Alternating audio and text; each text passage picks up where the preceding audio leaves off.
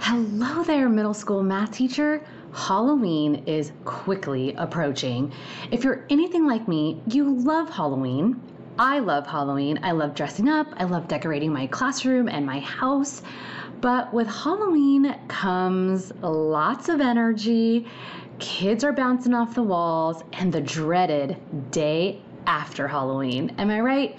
Where kids are like zombies because they've been out all night, the sugar has crashed, and now we are left to figure out what the heck do we do?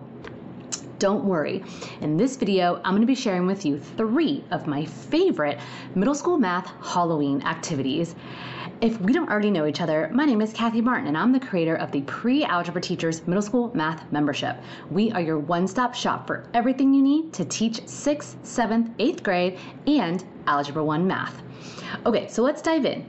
These three activities cover a variety of math topics and they are a variety of different activities. So let's jump right in. One of my favorite types of activities to use, I use it all the time. I would say every day, if not every other day, um, are task cards. And you are getting a set of task cards for changing decimals to percents and percents to decimals. This set of task cards includes 15 task cards, an answer key, and a, a paper for your students to show their work. So you can see here this first task card says write the decimal as a percent. The decimal is 58 hundredths, write it as a percent. So there are again 15 of them. I love task cards and i use them all the time because they are so versatile. You can use them as a homework alternative. Your pro tip your administration loves seeing task cards especially as a homework alternative because even though it is like paper it's not like your typical worksheet. And i think the other reason why I love task cards so much is because for any student, whether they are advanced, whether or whether they have an IEP, having one problem on a card that they're focused on makes it so much easier to answer the question and accomplish the goal versus having a worksheet of like 25 problems. And it can feel very overwhelming especially for our students who you know, get overwhelmed by seeing so many problems on a page. That's really the main reason why I love task cards so much. And it feels, students feel the sense of accomplishment when they can answer one card and put it aside. And then they can answer the next card and put it aside. And they have this like done pile where it's like, okay, great, look, I finished, you know, four, I only have two left.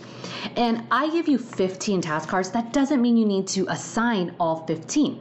You can simply tell your students, we're going to do task cards one through five. Or you know what? Here are 15, and I want you to pick seven that you want to do. Any seven that you want. Anyway, back to what I was saying. I love using task cards as a homework alternative, as classwork, especially in stations like small group. It can be used in so many other ways. Whole class, I use it all the time when we're playing whole class games because the problems are already written there for me. So it's just, it's so easy. And another pro tip with task cards if you can, laminate them so you can reuse them every year. Okay, the second activity that I want to show you that is that goes along with our Halloween theme is a is this pixel art, digital pixel art activity. This is for distributive property. If you've never done pixel art before, you are in for a real treat. So as you can see, this is what it looks like.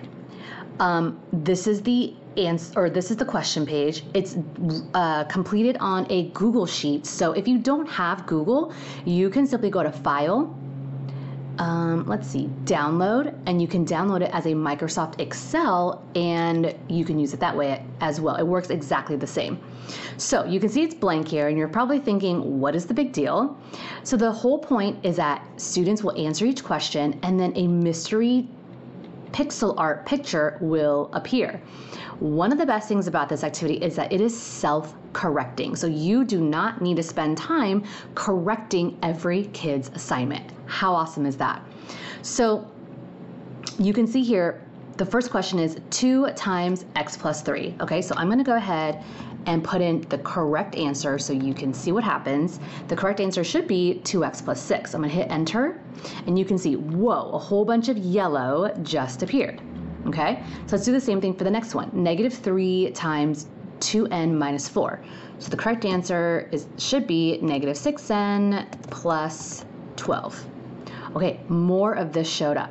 So let's pretend that I'm answering the next question and I'm gonna get it wrong on purpose so you can see what happens. So let's just say I did negative g plus 16. Hmm? Did you see that? Nothing happened, right? Okay, so that tells me okay, I went wrong somewhere. Oh, I see. It should be negative g minus 16. So you can see more of the picture has come up. The answer key is provided for you. When students are finished, this will be the full picture that they, you know, that will appear. One thing that you can do is you can just simply hide the sheet so that students don't see the answer key right there. You want them to be able to just have, you know, the the actual questions. All right, that is Activity number two, the third and final activity, one of my ultimate favorites, and the perfect reason to use all of that Halloween candy that you just collected, or you could even have students bring in some Halloween candy so you don't have to go out and buy your own. But it is called M&M's ratios.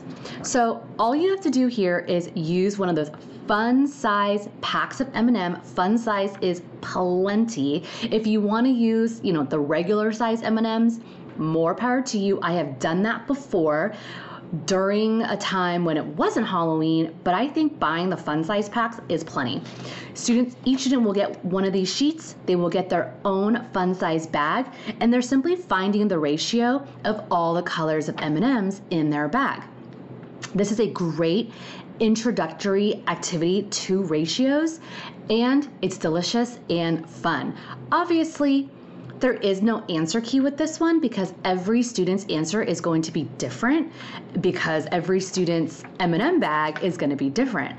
And what I love to do in terms of extending this activity is uh, you know each individual student will fill out their own sheet, will fill out based on their own individual M&Ms pack, but what you could also do is afterwards once everyone is finished, pair up students and then do this again but as a total partnership, you know, because then it will change the ratios. So it's cool for them to see, it's cool for students to see, okay, what are my, what are the, you know, what am I getting for my individual pack? And then how does it change when I am with a partner?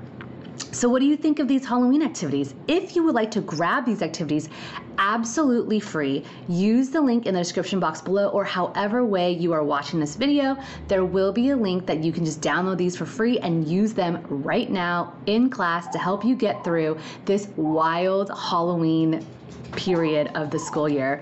I hope that you've enjoyed. Let me know in the comments which activity you are most excited to use first. And I cannot wait to hear what activities your students are loving.